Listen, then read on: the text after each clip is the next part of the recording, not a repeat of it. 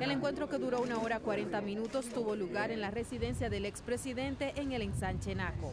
Además del presidente Medina, participaron la presidenta del Senado, Cristina Lizardo, el expresidente Rafael Alburquerque, el director de la Oficina para el Reordenamiento del Transporte de Andino Peña y otros.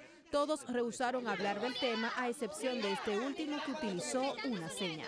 Ustedes deben de leer entre líneas. Ese encuentro tiene un, un mensaje.